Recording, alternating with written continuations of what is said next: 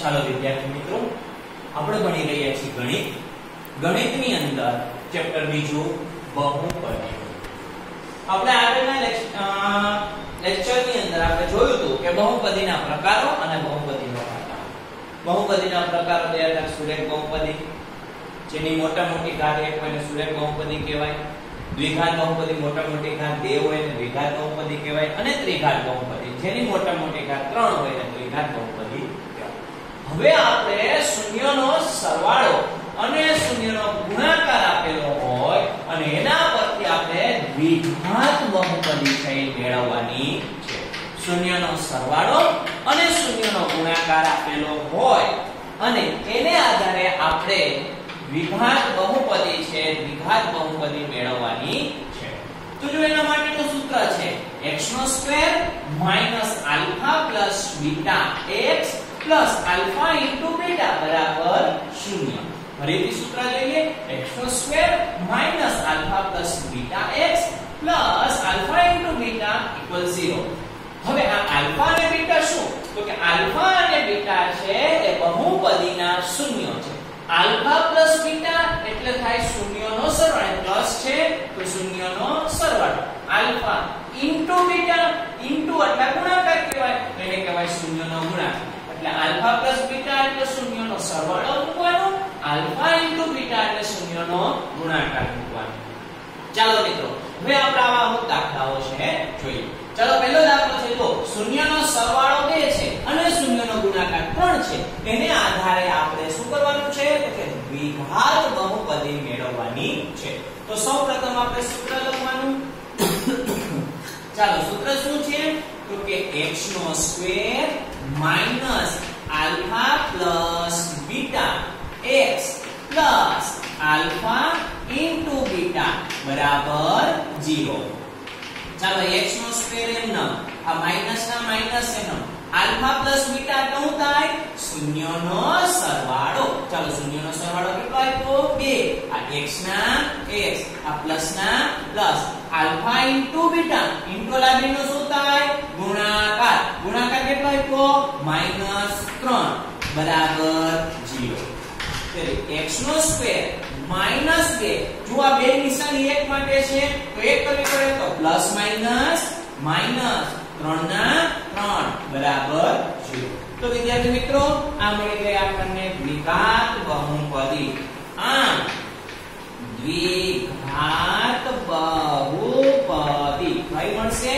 તો કે x નો સ્ક્વેર 2x માઇનસ 3 બરાબર 0 મળે. ઓકે? ચાલો હવે આવો જ આપણે બીજો દાખલો જોઈએ શું આપ્યું છે? શૂન્યનો સરવાળો બરાબર -3 અને શૂન્યનો ગુણાકાર -4 ચાલો, સૌપ્રથમ આપણે સૂત્ર મૂકી દઈએ કે x નો square alpha beta. Plus alpha into beta બરાબર 0 આલ્ફા ઇન્ટુ બીટા બરાબર 0 ચાલો આ x નો સ્ક્વેર એમ નામ? માઇનસ ના માઇનસ અહીંયા સોરી આવશે x plus alpha into beta. x નો સ્ક્વેર એમ નામ? માઇનસ ના માઇનસ આલ્ફા પ્લસ બીટા એટલે શું થાય શૂન્યનો સરવાળો. કેટલો આપ્યો છે? માઇનસ 3 આ x ના x આ પ્લસ ના પ્લસ આલ્ફા ઇન્ટુ બીટા, એટલે હું થાય ઇન્ટુ એટલે ગુણાકાર શૂન્યનો ગુણાકાર. કેટલો આવ્યો માઇનસ 4 બરાબર 0 ચાલો x નો square, minus minus plus 3x plus minus minus 4 બરાબર 0 ચાલો, આ મળી ગયો આપણને જવાબ. આ દ્વિઘાત બહુપદી કઈ મળશે x સ્ક્વેર પ્લસ ત્રણ એક્સ માઇનસ ચાર બરાબર ઝીરો મળે. ઓકે?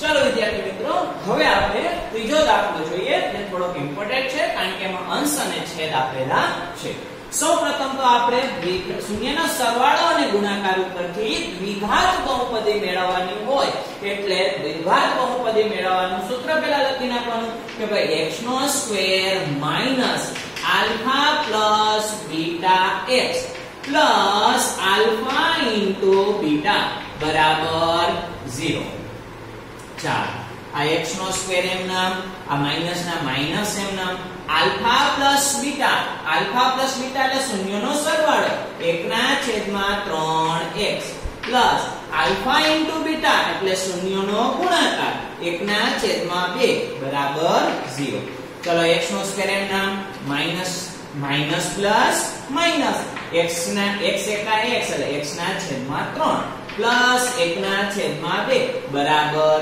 0 જો છેદમાં રકમ હોય તો બહુપદી ગણાય નહીં. એટલે આપણે અંશને દૂર કરવો એટલે સોરી છેદને દૂર કરવો પડે.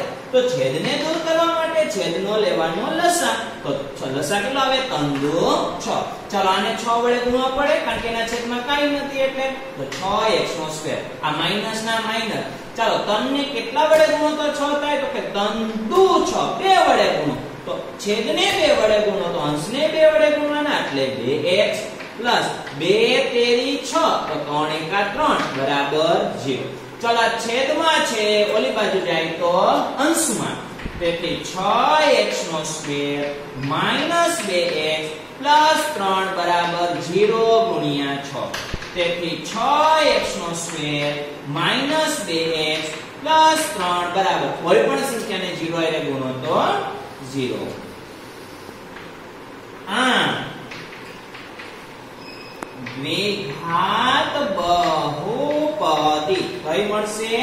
6x નો સ્ક્વેર માઇનસ 2x પ્લસ 3 બરાબર 0 મળે.